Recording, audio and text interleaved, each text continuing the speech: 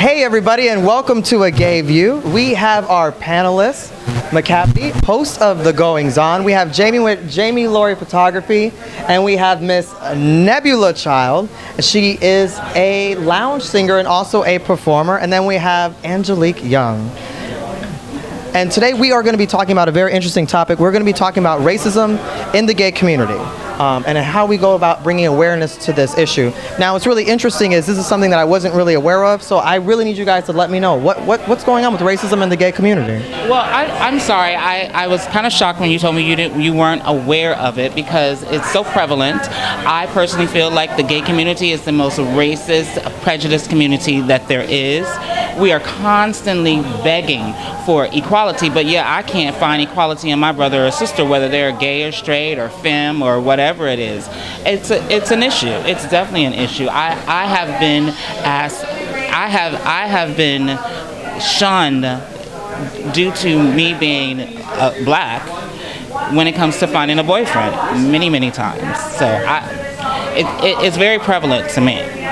How do you feel about that, Jamie? I think not only race has to do with it in the gay community, like it's all types of labels that we put on each other. We have too mass, too femme, uh, she does drag, she's trans. Mm-hmm. Like there's so many more things besides race that there's prejudice for.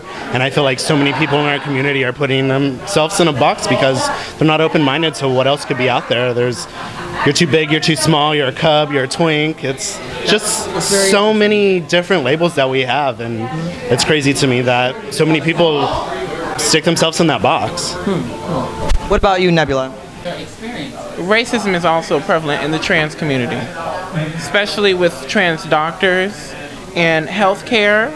It's it's hard to find certain healthcare if you're a certain race sometimes because some some doctors are very you know they, they can be very very shady you know when it when it comes to healthcare and finding hormones or when it when it when it comes to you know social social um, gatherings where people talk about um, finding finding services, and everybody says that black black trans girls or trans girls of color are always um, being escorts, you know, which is not always the case. So. That, that's a very interesting experience. So what about you, Angelique?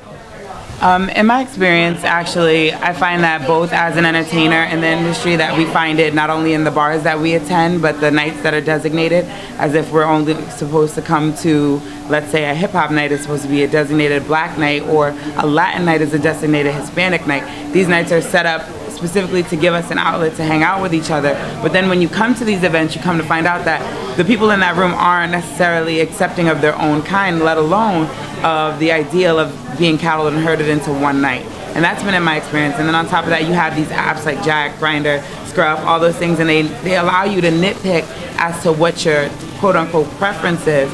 But if it was just a preference, why is it such a problem to talk to someone? who is of a different race or a different color a problem to associate with those kinds of things. A lot of times we see people in these groups and they don't necessarily have an open mind. So, I mean, it's really relevant. I mean, anytime you go into a bar, I mean, take a closer look at your groupings of people and how they interact with each other or the way they interact when somebody stands next to them at the bar. A lot of times it's the age old question, you know, the black man walks down the street and the woman grabs her purse or pulls her kid a little closer. It's the same thing in the gay community. When we get to the bar, depending on how you look, whether you're femme, you're big, you're bear, scruff, whatever, um, people tend to react differently to you. It's just something that I've been very visual about okay, let me let me just put it in perspective for those of you who who aren't aware. Just look at your gay mags. Just look at your gay mags. When you see those gay mags and you see these big buff, handsome guys, how many times do you see anybody of color? And when you see someone of color, they're put in a very fetish way, like the Latin or the black, and and and and it, it's like that we're not human. We're dehumanized because we are fetish, and that is that is the issue.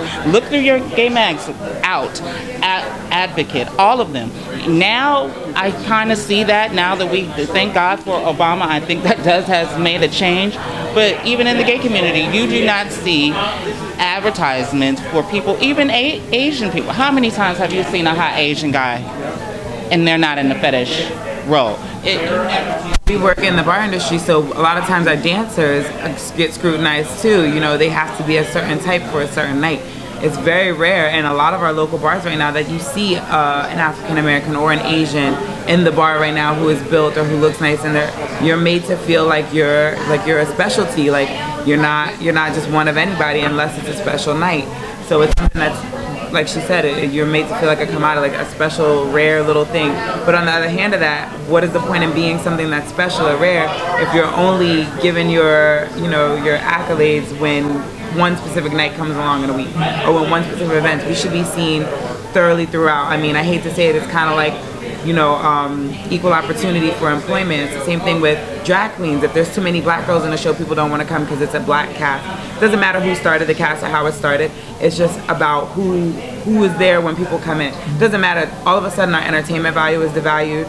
We know how hard we've worked in the community. Get that booking or that spot no longer matters. We're, we're a number. We're a statistic. So it becomes an issue, and that's only something that I personally have seen happen in bars recently. Um, even with girls on Latin showcases and stuff like that, people are like, "Oh, well, we were hoping for a, a white girl this time, or you know, or a black girl, or somebody else, something different." That is crazy, crazy to me. Because if we all, if, and, and we're whether we're black or white, we're all programmed that if we see uh, all older white men, we don't think nothing of it. If they're in a position of, of, of entertainment or they're in a position of a CEO and it's just all white men, we don't think anything of it. But if it's all Latin or if it's all black, immediately we've been programmed to say, why is that? And I think that's part of the problem. The gay community, we're looking for acceptance. You want acceptance, equality starts with you. It starts right here. You want the world to accept you, accept your brothers and sisters. You know, I, I've been racking my brain on a solution to how can we fix this in our community. Um, and the only thing that I could come up with in the last few days was that we have to get rid of these blanket statements and these constructs that we put people in to the point of excluding others, where everyone can be included in a group. And I, I still don't know how to fix it, but I'm hoping that one day we can. And thank you very much for tuning into A Gay View. Catch our next segment.